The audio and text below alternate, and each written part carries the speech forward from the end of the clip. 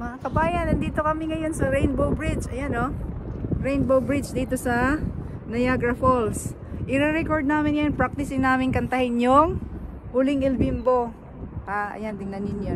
Nandito, kami sa ilalim ng bridge. Diyan kami yan, diyan kami uupo doon banda. Dito, pakita ko sa inyo. Para makita nyo talaga. Dito, dito kami uupo. I-set up namin yung flag, Philippine flag. Pag, ah, pagpasensyahan nyo na kami, first time namin to. Tsaka malamig talaga. Tingnan mo, naninigas na yung bibig ko. Okay?